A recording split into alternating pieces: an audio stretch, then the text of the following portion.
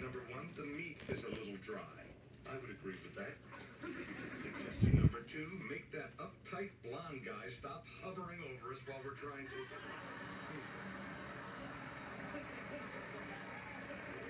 I would agree with that. Now, let's see. Suggestion number three. Lose the waiter guy. He reminds me of my mother. Clever, Roseanne? Stuffing the suggestion box. This is your suggestion, isn't it?